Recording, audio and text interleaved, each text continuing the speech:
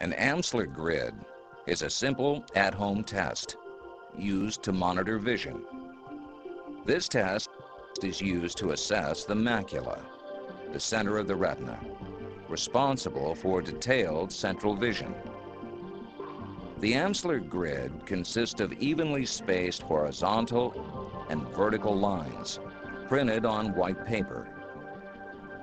A small dot is located in the center of the grid for fixation.